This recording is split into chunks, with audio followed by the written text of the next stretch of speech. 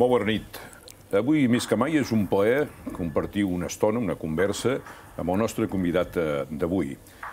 Músic, eh, compositor, però sobretot director d'orquestra. Un gran i conegut director d'orquestra a nivell internacional, en diversos eh, guardons, Premi Nacional de Música, a nivell de l'estat espanyol, o el Creu de Sant Jordi a Catalunya, entre moltes altres coses que cal destacar de la seva llarga i brillant trajectòria. Avui, de prop, amb Antoni Rosmarbà.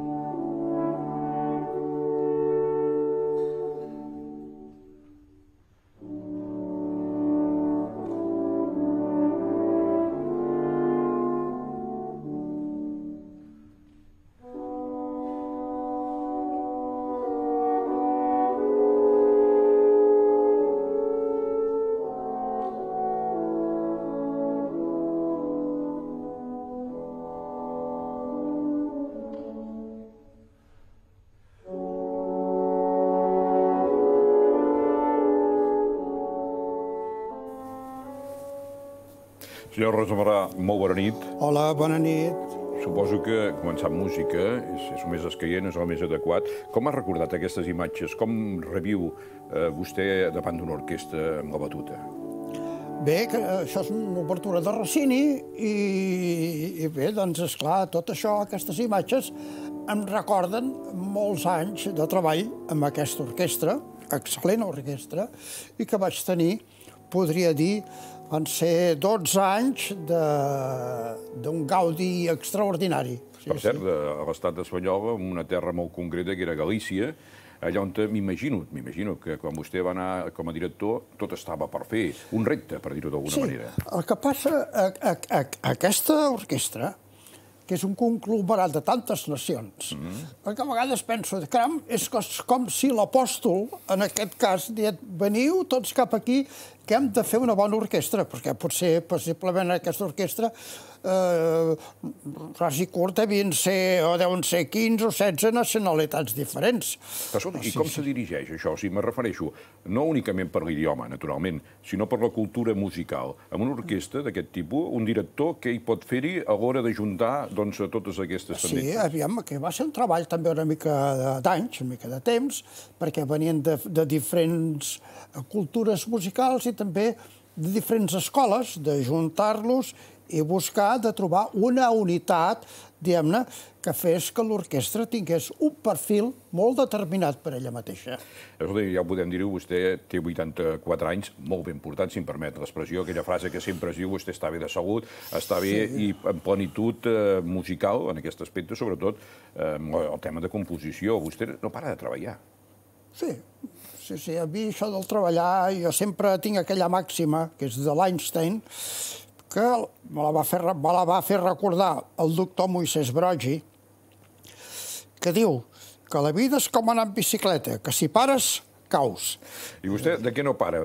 Què composa en aquests moments eh, davant doncs, de la seva taula? Eh, què, què hi té? En aquest moment, ja els últims dies, estic reprenent altra vegada un quartet per a cordes, un quartet de corda. Eh? Un quartet de corda que que, diguem-ne, el quartet de corda és la formació de cambra més sinfònica, per dir, mm. són quatre veus eh, que s'han de fer. Molt difícil, molt difícil d'escriure. Això ha vingut ja, diguem en, en un moment, diguem-ne, tardoral de la meva vida, per això és el títol, penso titular, Quartet Tardoral. Eh? La seva vida que va començar de molt jove, de molt menut, eh, quina tendència tenia vostè a nivell musical, tenint en compte que, si no m'equivoco, tot i que vostè va néixer a l'Hospitalet, amb un carrer eh, molt artístic, per dir una paraula, em sembla que també va néixer Núria Esper. Sí, sí, sí, eren veïns. Eh, però, en canvi, no, no hi havia una tradició familiar a casa seu. No. No hi havia no. una tradició musical? No, no, no. No hi havia una tradició de música? un avi de segones, dic de segones perquè era de segones núpcies amb la meva àvia Teresa, mm. l'àvia Tresina, que li dèiem, eh? Uh, i que li agradava molt la sarsuela. I de partit em portaven, però I després... Va venir una mica per aquí, això? O sigui, el seu amor a la música és d'escoltar sarsueles? No, les sarsueles i també la ràdio.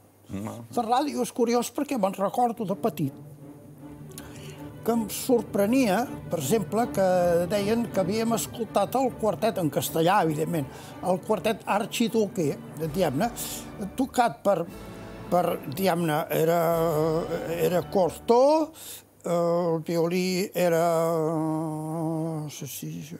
no recordo. I deia... I violoncel. No deien el nom de Pau Casals. I deia, caram... No. Com recordo una mica la, sí, la seva infància eh, musical a l'Hospitalet? Quins van ser els seus inicis? Aviam, eh, inicis, podria dir, el, el parvulari, el parvulari em feien cantar cançons, cançons aquelles de Llongueres, eh, algunes inclús traduïdes al castellà, eh, però bueno, i en allà hi havia la senyoreta, o sigui, que va començar, deia, aquest nen que té bona oïda, i, i em va ensenyar les primeres notes. I després ja em van enviar al conservatori. El meu pare, que era electricista, pensava que jo continuaria, diguem-ne, el negoci del pare què va? Sí, sí, sí, no, no, no. Alguna vegada dic, vine'm a ajudar. I jo ja anava a ajudar, diu, pots portar unes alicates? I no sabia que eren les Pobres alicates. de nosaltres. Amb prou feines ho sé ara, eh? El conservatori m'imagino que devia tenir doncs, aquests mestres que li van inculcar l'amor Oh, sí. per, per la música. Sí. I Qui, qui va després, ser el seu referent? Qui va ser el seu referent? Sí, hi ha una cosa, perquè jo una mica, eh, que, com que l'orquestra municipal, dirigida pel mestre Toldrà, era a baix, al sòtano, jo, doncs, m'escapava i anava a mirar com dirigia el mestre Toldrà, com feia l'assaig. Vaig pensar, caram, aquest home, això, eh, la- l'imatge i després el coneixement i el contacte amb Toldrà m'ha marcat per tota la vida, xico. Què, què, sigui què que- tenia Toldrà a nivell musical que vostè l'enganxés tant, em permeti l'expressió? Aviam, és difícil de definir això, eh? és molt difícil, però com parlava l'orquestra, amb el tipus de llenguatge, i després, evidentment, aquella persona que era tota expressivitat quan assajava, eh? i les coses que deia. Eh? I aleshores estudiava piano, era un estudiant de piano que havia anat amb, sí, fent cursos en Dotres Vila, eh, que era el meu mestre de piano, i després amb els professors de solfeig, i després contacte, quan ja vaig fer ja les tècniques d'escriptura amb el mestre Samacois, eh? però Toldrà hi havia una cosa que era diferent. Era una època fosca, socialment i políticament, sobretot, Oh, en els molt. anys de la dictadura de Barcelona. Una mica era la brillantor eh, que vostè doncs, li sortia la música en un moment eh, que l'entorn, diguem-ne, que no era massa positiu? No, pensi, pensi que allà on vivíem nosaltres, jo també, jo vaig néixer al carrer de Buenos Aires, número 7, principal, i la Núria va néixer al número 9, principal. Els terrats es tocaven. Quina casualitat, eh? Després, amb els meus pares, vàrem anar just al carrer del davant, que, que teníem el negoci del pare, diguem-ne, que anava fent com podia, pobre, perquè, és clar, un electricista, lampista, i teníem telèfon en aquella època. Teníem telèfon i venia la Núria i, i li guardava molts encàrrecs. Però, esclar, jo la Núria, que té dos anys més que jo, però quan jo en tenia 14 o 15, una noia de 17, I guapíssima, doncs, esclar, guapíssima. era una dona. Guapíssima. O sigui, vostè ja li anava bé que vingués a telefonar. Sí, home, i feia com de, sí. com de mànager d'agència, o seria una agència No, el telèfon, no, el no, telèfon, no, però escolti. telefonava, telefonaven, eh, un encàrrec per la Núria Espert, sí. Digui'm, això s'hi posava el meu pare, la meva mare.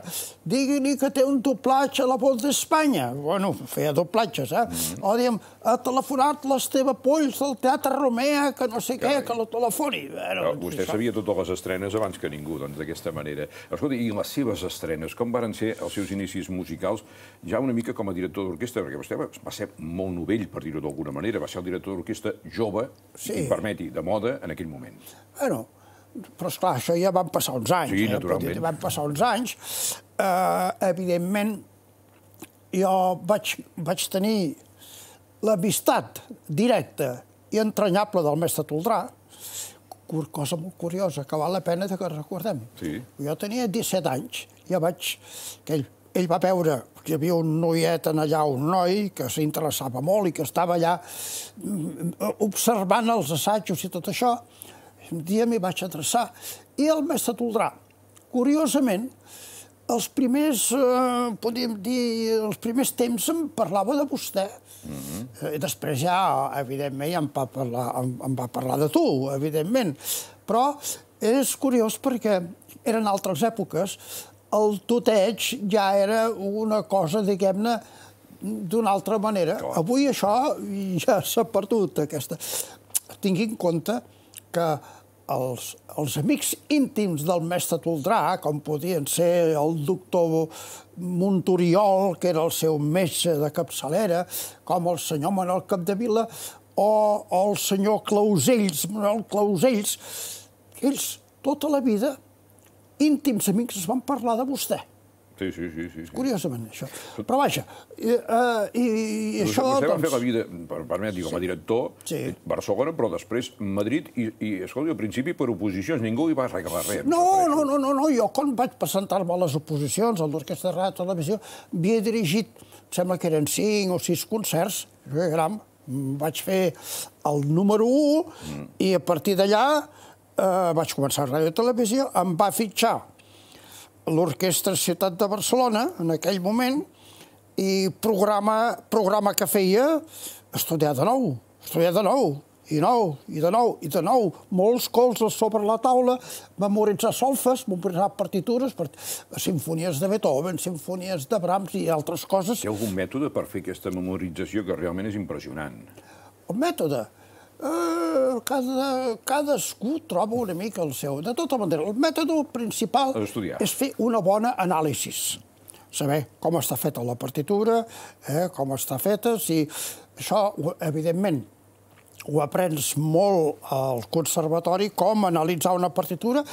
Al conservatori ensenyaven a analitzar coses molt bàsiques, però després aquestes coses tan bàsiques es poden engrandir. Després, esclar, analitzar el que podríem dir les grans formes musicals.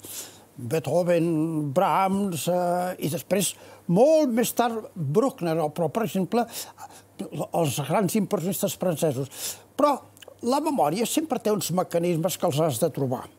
Eh? Per, diguem-ne, per simplement per buscar punts de contacte.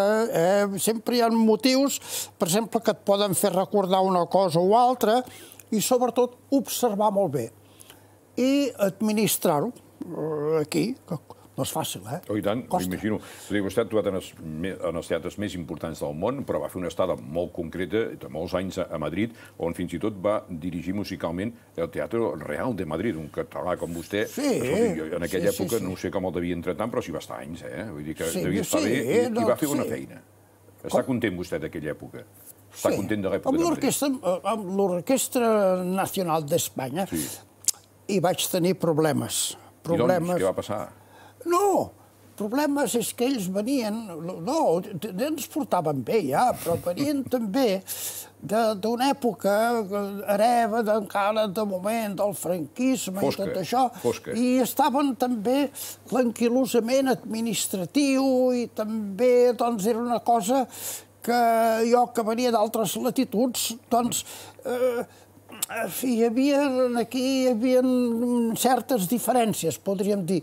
Però a l'hora de fer música, després, sempre arribàvem a un punt de, de, de consens, sempre ens acabàvem Escolti, trobant. És més complicat del que sembla, això, eh? Sí, Que si una orquestra sinfònica són molta gent, són molts músics. Sí, eh? sí, de cada sí, tenir, sí. m'imagino, no únicament la consciència musical de que allò ha de sonar bé, sinó de que, com un entrenador, si em permet l'expressió, eh, esportiu, de futbol, de que hi hagi bon rotllo, eh, encara sí, que sí. diu... No, no, no, no, no, el sinònim és perfecte, eh? Sí, sí, el sinònim és perfecte, eh? Saber aviam com Que hi hagi bon generar... ambient, eh, després sona millor.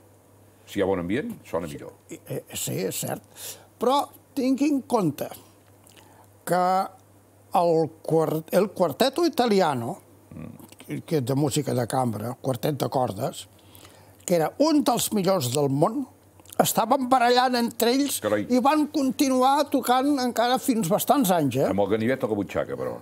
Ah, una mica, eh? Simbòlic, sí, sí. simbòlicament. Vostè, sí. tal com deia, eh, ha dirigit la, la Filarmònica de Berlín, per posar un exemple, sí. eh, a Sud-amèrica moltíssim, a Mèxic, al Japó... Quins són els seus records d'aquestes estades en aquella època que tant feia, m'imagino, música sinfònica com òpera? Aviam, uh, és difícil, però, per exemple, uh, de veure el, el, el Japó, et sorprèn coses bastant curioses, que és que l'orquestra fa exactament el que tu, tu dius, que vols que facin, també passa una mica a, a, a Corea, eh? però que toquen molt bé. És molt difícil saber, per exemple, l'expressió de la cara d'un músic japonès, saber per què fan pràcticament sempre la mateixa cara. Eh? no, les seves reaccions, curiós, però, per exemple, no, podem anar, ara explicaré, per exemple, a Mèxic, jo he dirigit sí, l'Orquestra sí. Sinfònica Nacional, sí, altres coses. també. A Mèxic, a Mèxic, doncs, de seguida te'n dones compte, un músic somriu o hi ha la, la, la cara de complicitat, sí. te'n dones compte. O, per exemple, també passa amb, eh, inclús eh, amb, amb altres orquestres. Eh, no sé, a Alemanya o inclús a Escandinàvia, que són més secs. Els britànics també són una mica una mica lacònics. Escolta, ja que expliqueu algun secret, i, i, i els divos, i les dives, i, i, i els cantants, vostè ha dirigit eh, els, sí. grans, els grans eh, noms sí, de l'òpera. Sí, vol que li digui una són? cosa? Els, els divos més divos sí són el que en el fons m'he trobat més fàcilment. Ah, sí? Sí. Montserrat Cavaller, per exemple? No, Montserrat Cavaller, hi vaig treballar poc. Hi vaig treballar poc, eh? Hi vaig treballar poc, però finalment sempre vaig gravar un disc, que era la cançó de Mori de Guerra, després hi vaig fer, em sembla, un, una òpera, sí, vaig fer una òpera també, uh, Medea, de Cherubini. Eh? Però vaig treballar poc. Però, per exemple, diré, amb, amb en Josep, amb en Carreras, sí. molt poc, però sempre ens hem entès. Victoria de Los Ángeles, per exemple? Com? Victoria de Los Ángeles? Ah, una delícia. El que passa és que Victòria no sabies mai ben bé com cantaria fins l'hora del concert. Sí, perquè no cantava mai a veu. El que passa que quan obria la boca, noi, allò era un regal. Eh? I era tan lògic el que feia que t'arrelaves amb ella. Oh, que bé. Escolta, parlava de gravacions. Ha comptat mai quants enregistraments han fet al llarg de la seva carrera? Són moltíssims. Els sí, comptat? Sí, sí, Discs? sí. I, i, però també hi ha concerts que són, que són trets del directe, i, bueno, sí, hi ha bastantes. S'ha perdut el compte per això. Són molts, moltíssims i de tot tipus. Sí, però jo, jo no tinc una estadística allò clara per saber, però sí... Però és de les feines importants perquè queden per sempre queden per sempre. Sí. Vostè els torna a escoltar eh, i veu... Doncs... És, és una cosa molt curiosa, eh? Rara Sí, hi ha coses que, que les torno a escoltar, però un cop el disc està fet, ja està fet. Eh? A vegades em costa, costa tornar-ho, el puc escoltar al cap de bastants anys. No fa pas massa, no fa pas massa, també vaig tenir ganes d'escoltar l'enregistrament que havia fet de Doña Francisquita pel nostre inoblidable Amadeu Vives. Bé, jo sí, aquest enregistrament fet amb la Maria Bayo, fet amb l'Alfredo Kraus, eh, fet amb doncs, doncs, la Raquel Pierotti, que va ser, ens vam passar molt bé durant la gravació, doncs el vaig tornar a escoltar al cap de quasi 20 anys.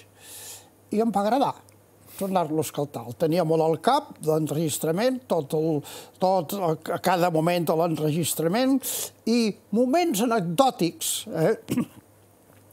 Com per exemple, esclar, l'Alfredo, l'Alfredo Kraus ja tenia 70 anys, però és que la veu li sonava encara, li sonava molt bé.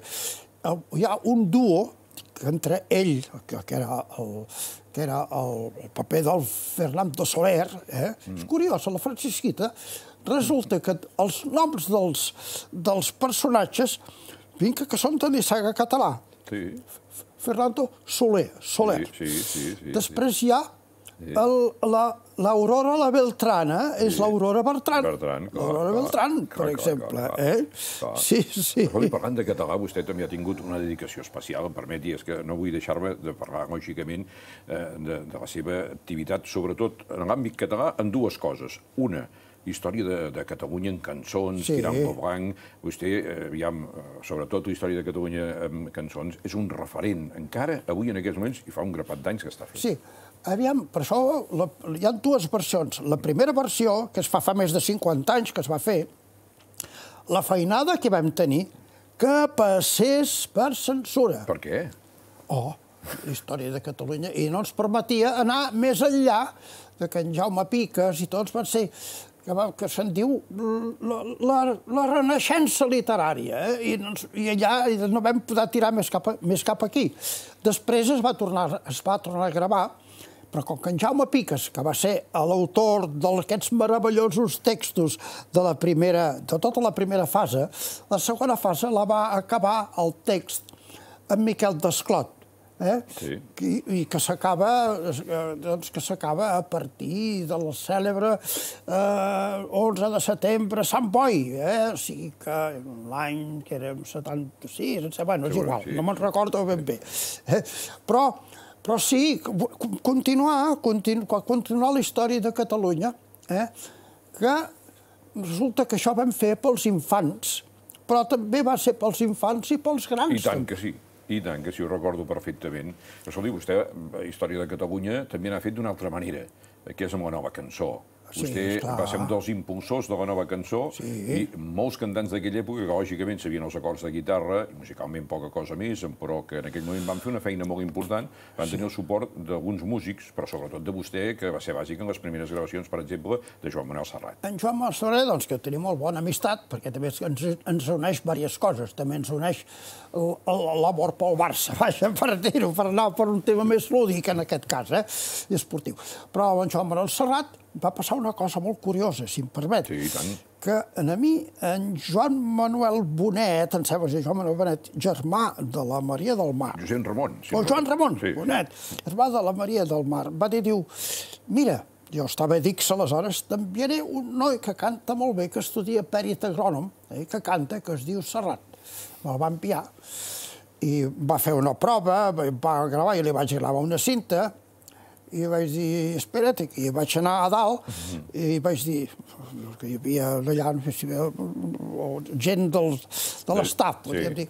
Aquí baix hi ha un noi que acaba de gravar una cosa i aquest noi no ha de sortir d'aquí si no té un compromís per gravar. Carai. I aquí va sortir cançó de matinada, del trapà Oh, i sí, de totes aquelles primeres doncs cançons. primer disc, exactament, sí. I després, aviam, en Joan Manel, jo he vist també per televisió que ara ja es retirarà. Sí, sí, Es sí, retirarà, però bueno.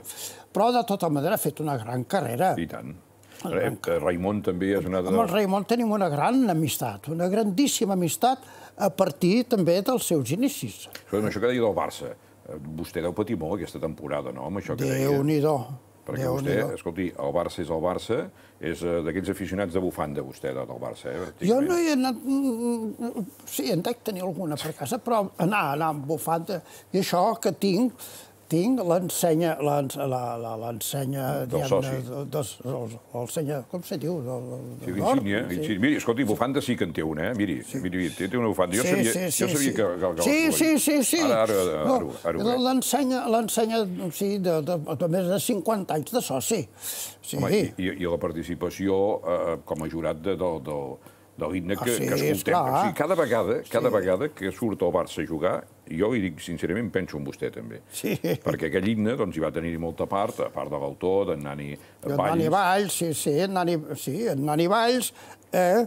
i després, evidentment, que hi ha el, el text de, de, de, de, de, de, de les De- Pilars, de i també, sí. i també amb la col·laboració, encara que sigui una quarteta curta, però també d'en Jaume Piques. Per tant, vostè com va al camp del Barça, com està a casa seu, que no hi va tant com és lògic, i sent aquell himne, diu, avui guanyarem, i després el deceben. Això em sap greu. Oi, sí, sí.